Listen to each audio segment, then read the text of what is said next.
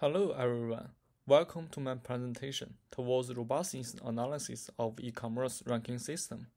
My name is Ningfei Wang, a fifth year PhD at the University of California, Irvine. I would like to introduce my amazing collaborators, Yupin, Han, Jiri, Xiaojie, and Vivek. This is a joint work between UC Irvine and Amazon.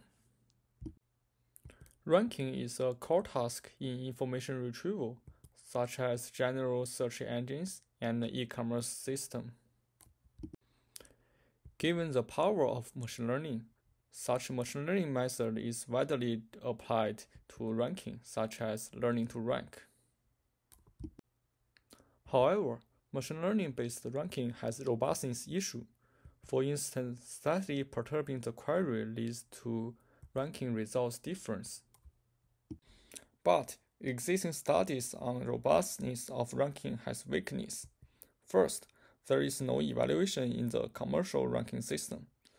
Second, there is no re relevance between real-world and manipulate queries. To overcome these two limitations, we performed the investigation on the robustness of commercial system and use historical data from anonymous users. Here are the contributions.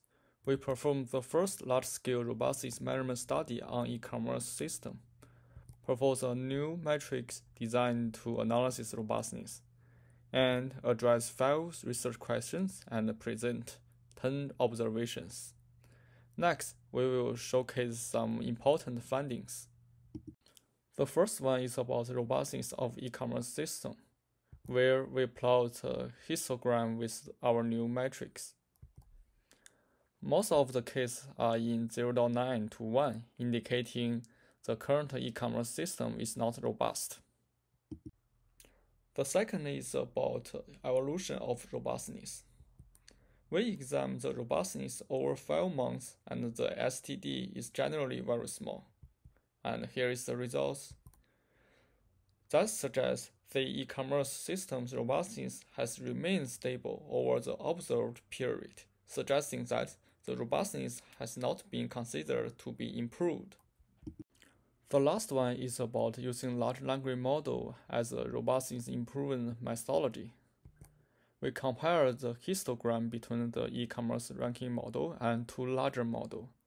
The results indicate that larger model is more robust than smaller models. Thank you. More details and uh, findings can be found in our paper.